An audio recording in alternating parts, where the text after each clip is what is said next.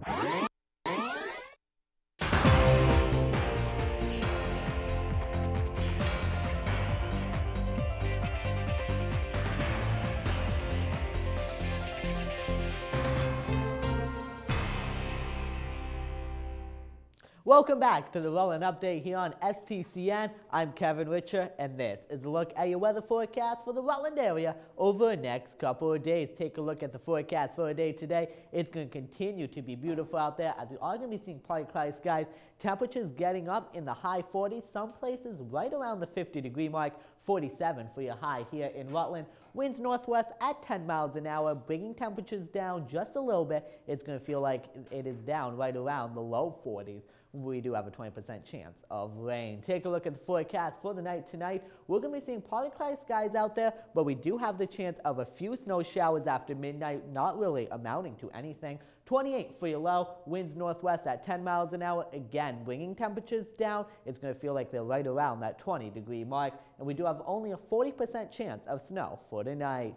Moving on to the forecast for the day tomorrow, we are going to continue to see partly cloudy skies, but it's going to be a bit cooler out there. Yesterday, our high here in Rutland was right about 49, around the 50 degree mark.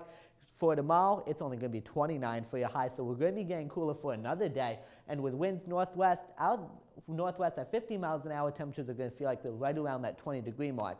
For tomorrow, the chance of rain is 20 percent. But even though it is feeling chilly out there, spring is coming as we have eight days until spring. So, hey, spring is going to be coming and it is going to warm up. I'll get to that in just a second. But let's take a look here at temperatures expected today for the state of Vermont. Can't really complain out there today with temperatures in the 40s. Down in southern Vermont, we are seeing the high 40s, 49 the warm spot in Springfield, 46 your high today in Bennington. We're seeing 47 from Rutland, Middlebury, 46 your high in Montpelier. Then we are seeing 45 in Burlington and up in Newport. Zooming in here on Rutland County, again, we're seeing temperatures right around the high 40s, mid to high 40s. We're seeing 46 in Fair Haven and up in Brandon. 49, your warm spot in Poultney. We're seeing 47 in Pawlet, Rutland, and Wallingford. Take a look here at the five-day forecast. As you can see, we're in the 40s today, cooling down for your day on Thursday, but we'll be back up into 40s for the weekend, and we do have some rain and snow showers coming in for Saturday into Sunday. So partly cloudy today, tomorrow, and Friday. Going to be a great end to a beautiful week out there. 29 for your high tomorrow, 6 degrees for your low tomorrow night. As we go into Friday, we're going to be warming up into the 40s again, 41 for your high. Partly cloudy skies, 28 for your low on Friday.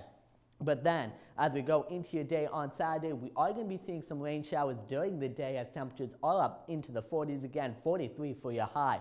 But as we go into Saturday night into Sunday, we're going to be seeing temperatures getting down right around that freezing mark, which means we're going to be seeing a mix of rain, snow, sleet, and freezing rain. So it looks like winter's going to try one more punch here this weekend.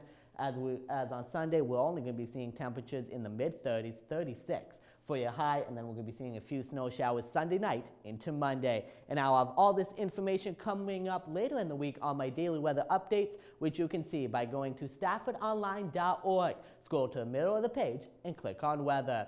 Coming up, Randy Field has a look at sports. Stay tuned. You're watching STCN.